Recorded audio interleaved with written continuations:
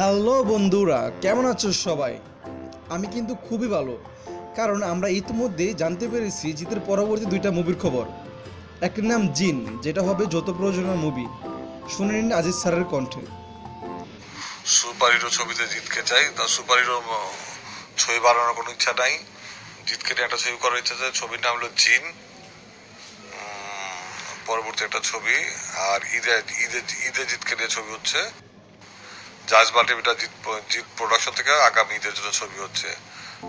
আর হ্যাঁ সাথী two war Awara two এর মতো আজে বাজে নিউজ যারা দিয়ে আপনাদেরকে বিভ্রান্তিতে ফেলে তাদের নিউজে কান দেবেন না।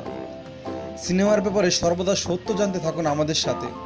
বস জিতের আরেকটি মুভি হচ্ছে আদার থেকে আদারে যেখানে তিনি ক্যামেরুলে থাকবেন গেস্ট আমার হিসাবে। ছবি অভিনয় করার কথা অনেকদিন যাবত আমারই লে- আমারই লেখা গল্প ছবির নাম হলো আধার থেকে আধারে এখানে সাকিব খান গেস্ট অ্যাপিয়ারেন্স রাজি হয়েছে জিতো গেস্ট অ্যাপিয়ারেন্সে রাজি হয়েছে দুইটা হিরোর গল্প, দুই হিরো আর একটা হিরো খুব সম্ভবত সিয়াম আসতে পারে।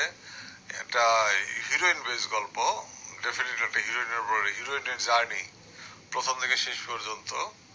ছবির নাম আধার থেকে আধারে, এই ছবির এই ছবিতে আমি অভিনয় করব। সামনের বছরের ফার্স্টের দিকে ছবিটা শুরু করব, আশা করি। ছবিটা ডিরেকশন আমি নিজেই দেব। বিনোদন জগতের সকল খবর খবর পেতে আমাদের চ্যানেলটি সাবস্ক্রাইব করে পাশেই থাকুন। ধন্যবাদ।